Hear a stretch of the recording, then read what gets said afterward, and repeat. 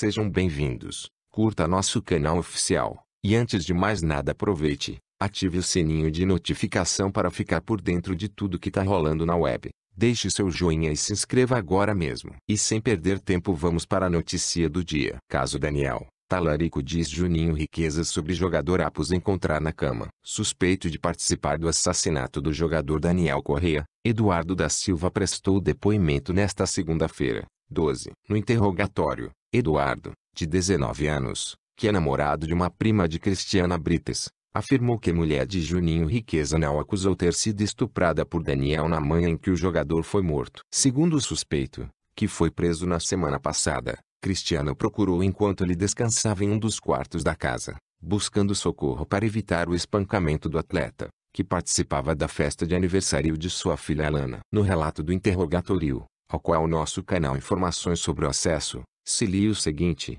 embora estivesse dentro da casa, afirma que em nenhum momento ouviu Cristiana chamar por socorro, sendo que Ita foi responsável por chamar o interrogado na parte superior da casa e ela disse que o moleque estava tentando mexer nela, mas que ela não disse nada de estupro. Reproduca o de depoimento do suspeito Eduardo, parente da famitia Brites antes de ser espancado e morto. Daniel mandou áudios, fotos e mensagens pelo WhatsApp se referindo a Cristiana dormindo e posando ao seu lado. Edson Brites, o Juninho, afirma que espancou e matou Daniel porque ele feria tentando estuprar sua esposa. A polícia Eduardo, que é namorado de uma prima de Cristiana, disse que enquanto estava no quarto, um Cristiana chegou no quarto falando a Judo Pierre, que o Júnior está batendo nele, porque ele estava mexendo em mim, e não deixa o Júnior bater nele. Apesar de não ter visto o que Daniel de fato fez com Cristiana, Eduardo afirma que participou do espancamento do jogador, incentivado por Juninho. Talarico tem que ser capado.